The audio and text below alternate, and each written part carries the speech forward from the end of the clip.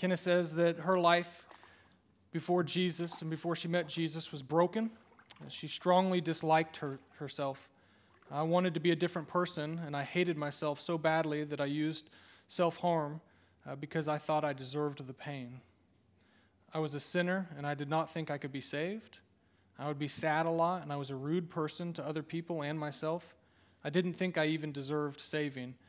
I had an encounter where I was seeing what looked like scary figures in my room after I had cried one night.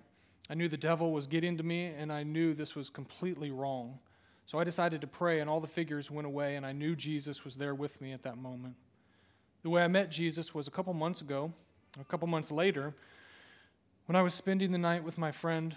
Her family always went to church in the mornings, so I went along with them uh, to see what it was all about. The church I ended up going to was Crosspoint. I was listening to the songs and message, and all throughout the morning at church, I felt something. I felt an urge to learn more about Christ, and it was like I heard a voice telling me that this was what I was made for.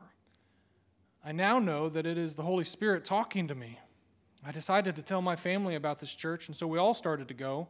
I started learning about the gospel and realized this is what I was meant to live for.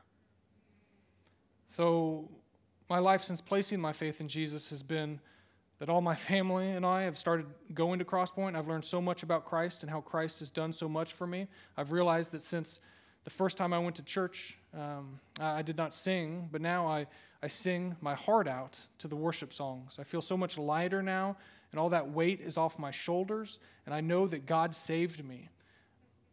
I now have learned to love myself, and I know that I want to walk hand in hand with Christ. He is my Savior, and He has rescued me. And now I am ready for this next big step in my life. Isn't that awesome? Praise God.